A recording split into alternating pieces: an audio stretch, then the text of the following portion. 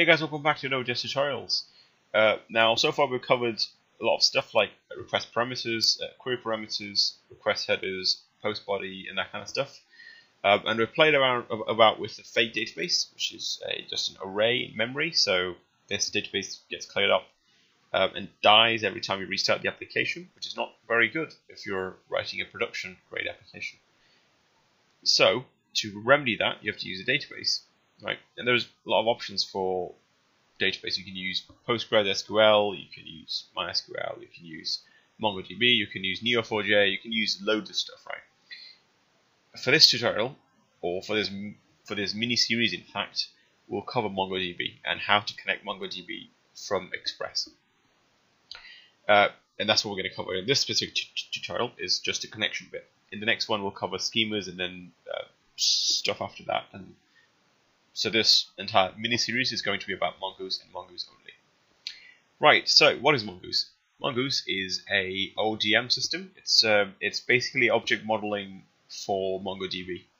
And what it does is it connects to your database, reads all the um, collections and objects and stuff, and it parses them and it creates models. And so you have to tell it what uh, what the schema is for the object that you want. So you say if you've got a collection, if you've got a MongoDB collection called cats, and if each cat has a name and age, then you have to define a model uh, here, and then you connect to the cats thing, and then it automatically reads the cats and finds out and matches the models, and then allows you to uh, bind the MongoDB objects to your local objects.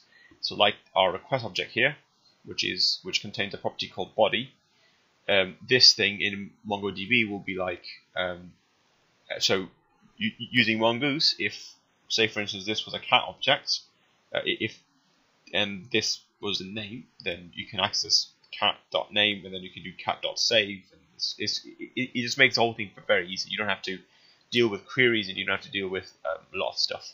Uh, you do have to deal with queries, but not a lot, so uh, it's good.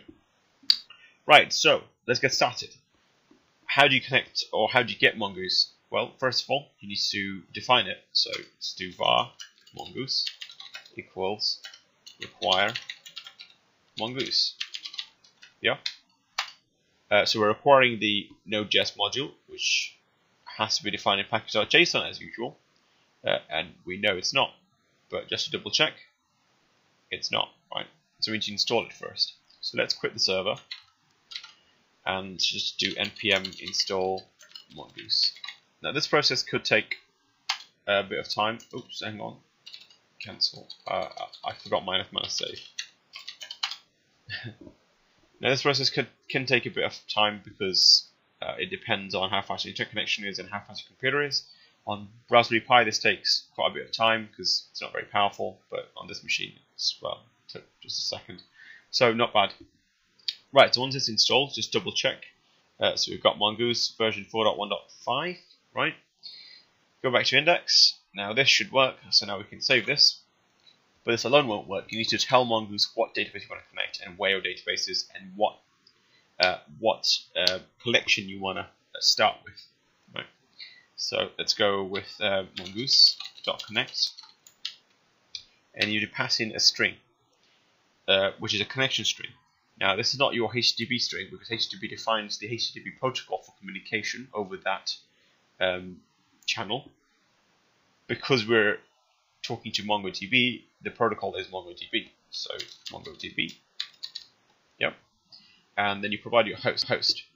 If you have a remote server, then this will be the uh, the IP address or um, host name of that remote server. Uh, but because we're only going to play locally, and I've already got my uh, MongoDB local instance running here. This can just be um, localhost slash test. Uh, so we're going to connect to the test database on my local host, right? Excellent. Now let's um, well let's consider another thing. Say, for instance, you've got several databases running on different ports in your local machine. How would you provide ports? Well, like you know, like you normally do in HTTP URLs. So consider this HTTP URL for a minute. You got your you you got your protocol, you got your host name, you got your colon, and then the port name.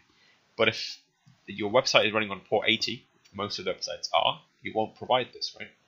So the default port doesn't need to be specified. But if it's anything other than default, you have to specify it by colon and then the port name, uh, port number, and then you go slash and then your and then your entire request. Same thing here. The default port is 27017, I think. Just confirm that. 27017. There we go. Uh, so I don't need to provide that port number here. But if it was something other than 27017, then I would have to provide it here. Another thing, you can enable encryption. Um, so, but we, we we will be covering encryption later on in the tutorial. So uh, for now, we'll just cover uh, and go through the local stuff, which is just normal HTTP, uh, well, normal unencrypted connection to MongoDB database, and um, just a very simple connection to localhost and the test database. Um, if you installed, if you're concerned with, oh, I, I may not have the test database, uh, don't worry about it. Your uh, default MongoDB install will come with test database, and you won't have to worry about it. Right, so this concludes our first chapter on the Mongoose series. Um, in the next one, we'll cover more in depth about how to be define data and stuff like schema within models. So I'll see you then. Take care. Bye bye.